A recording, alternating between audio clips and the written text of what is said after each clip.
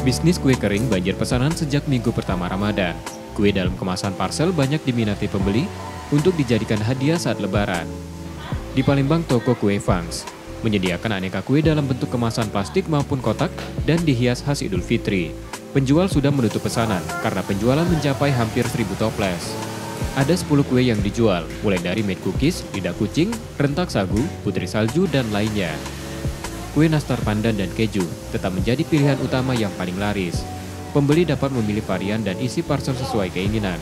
Satu paket parcel dibanderol mulai dari Rp120.000 untuk ukuran kecil. Sel itu kita ada paket-paketnya gini. Nah, misalnya ini ada yang isi tiga, ada yang isi empat, tergantung berapa toples sih. Itu mulai harganya dari harga 120.000 ada sampai yang ke 600.000 juga ada.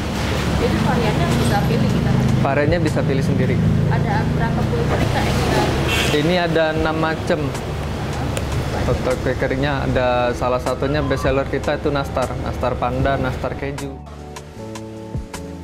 Melalui media online, penjual juga mengirim paket ke berbagai kota.